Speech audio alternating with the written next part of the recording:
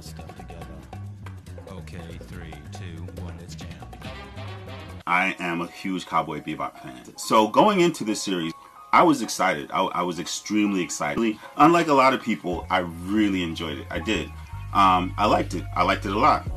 I didn't love it, but I liked it, and I understood why they took uh, certain creative licenses uh, when dealing with the characters. I have no problem with Mustafa Shakir uh, playing Jet Black.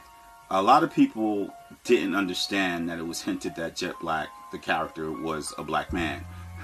and if they didn't notice it, I don't know what to tell people. There's a lot of people mad that there's a black man playing Jet Black, but if you ever saw the series, um, Jet wasn't white. So what are you mad about?